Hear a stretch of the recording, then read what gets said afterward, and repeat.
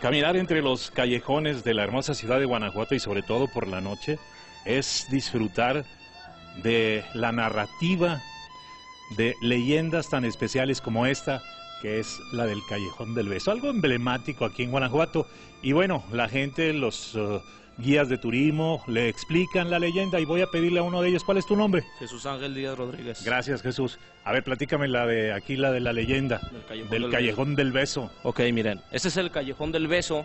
Aquí se cuenta una leyenda de una pareja de enamorados de nombre Ana y Carlos. Ana, una rica española, vivía en la casa del lado izquierdo, donde está el barandal con las macetas. Carlos, él era un pobre minero que trabajaba en la mina de Valenciana, que rentaba un cuarto de la casa derecha por unas monedas de plata. Una noche, el padre de Ana lo sorprende besándose de lo más angosto de balcón a balcón.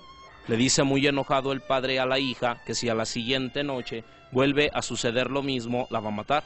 Ella siendo única hija no lo toma en serio, lo toma como una burla, un regaño, capaz que su padre le hiciera eso. A la siguiente noche pasa lo mismo, el padre ya no le dice nada, llega muy enfurecido a la recámara, sube al balcón y le entierra una daga en la espalda a su propia hija.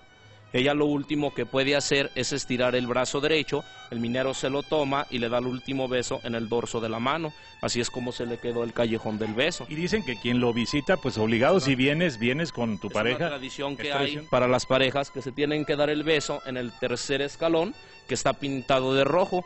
Si no se dan el beso, siete años de mala suerte.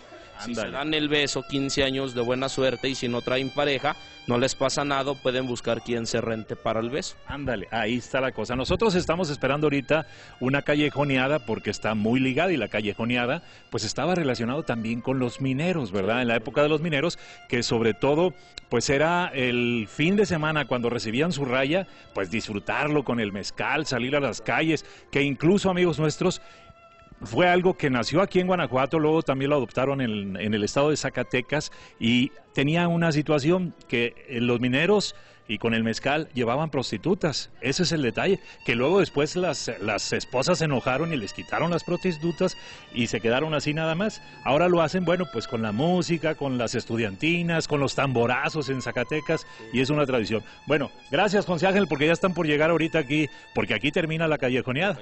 Gracias. Vamos a continuar reportajes de Alvarado desde la hermosa ciudad de Guanajuato.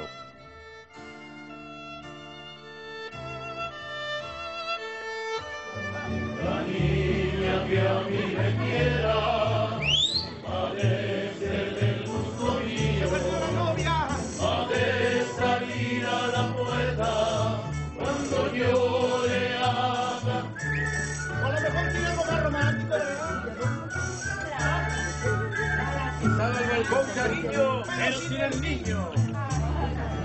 Es.